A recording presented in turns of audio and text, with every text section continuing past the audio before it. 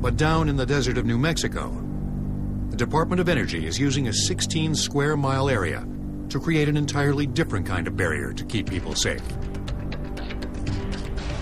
This is the Waste Isolation Pilot Plant, or WIPP, and the staff is hard at work disposing of intermediate level nuclear waste, half a mile beneath the Earth's surface, in a salt cavern.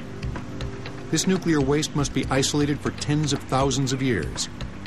It's extremely dangerous.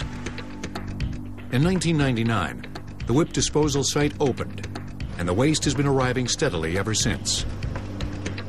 Everything is designed to make sure the waste gets here without incident, even the shipping containers. They have to undergo significant testing. The TRUPACT-II is dropped from about 30 feet in multiple configurations. After it's been dropped numerous times, it's put into an engulfing fire of jet fuel for about 30 minutes.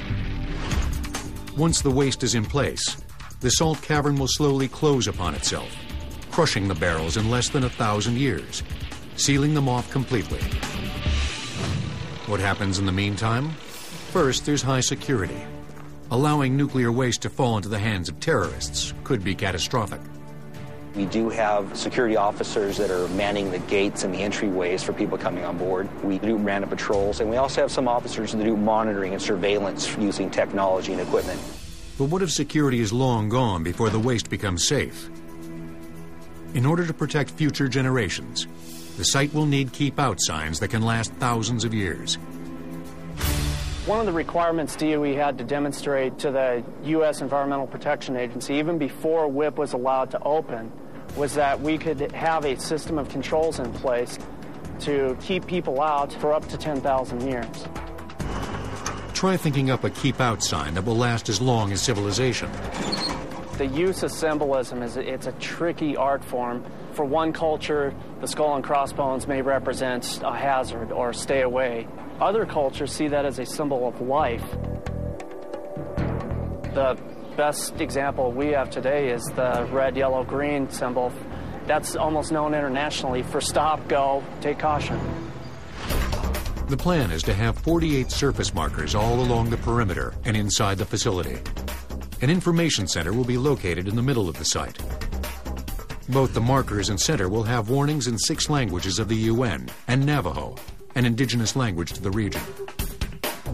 The lessons we sort of borrowed from are the Rosetta Stone, being able to decipher and decrypt some of those symbols. And we want to follow what we've learned from history and replicate it as much as possible. The disposal process is expected to be complete around 2030, and the site will subsequently close, with security officers remaining. By that time, the cavern will contain all intermediate level or transuranic waste in the U.S. About 4 million cubic feet. To put it another way, That's about the same amount of waste that you would have if you put a football field out there and filled that football field about 50 feet high. still, there's 45,000 tons of high level nuclear waste in the United States that requires permanent disposal. Any site that proposes to contain it will have to be even more secure.